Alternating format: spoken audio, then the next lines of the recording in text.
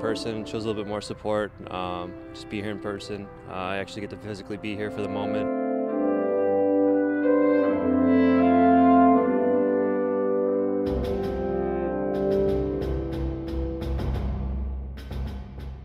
Anything you can do to support people nowadays with the, profession of law enforcement. Um, I'd drive as far as I had to for it, so it was worth it.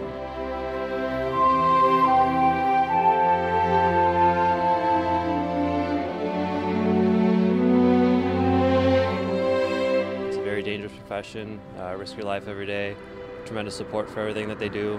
Um, it's very unfortunate today, but just here to support uh, all the officers and their families. So.